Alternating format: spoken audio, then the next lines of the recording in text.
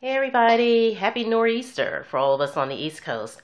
So I'm just going to let you know, the snow today is giving me the bomb lighting for this video, so I'm really appreciating it. Check it out. What are you seeing? It's her. It's the new hobo. And she is shining bright with her snowy white look. And I'm really loving it. And I thought I'd give you a little sneak peek because later on I'm going to do a video where you can see how she can be changed to all these different looks. So right now, she's being shown with the short strap. Let me do a little rotation. Bam. And let me take her down so you can see a little closer.